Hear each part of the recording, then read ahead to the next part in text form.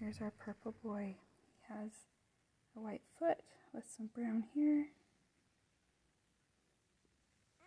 Has a white foot here, white here. He has the white tip tail. And then this foot here is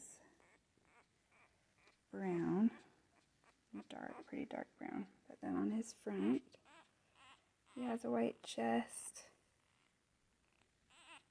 a little white on his nose and on his chin.